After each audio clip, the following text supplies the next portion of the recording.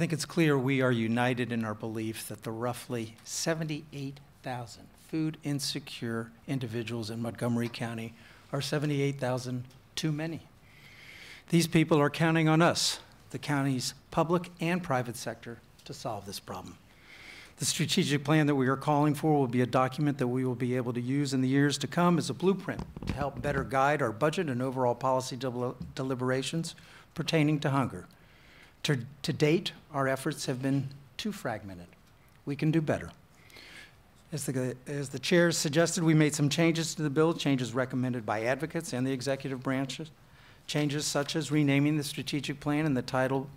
of the bill to Strategic Plan to Achieve Food Security,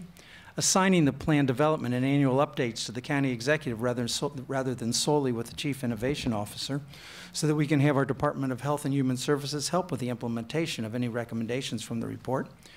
requiring the executive in developing the plan to consult with individuals who have experience with food insecurity,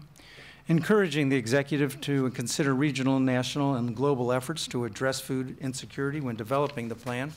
and removing a specific food insecurity reduction target, which was in the original legislation, but with the caveat that we have assurances that metrics will be in the final report once it is crafted. We do need metrics.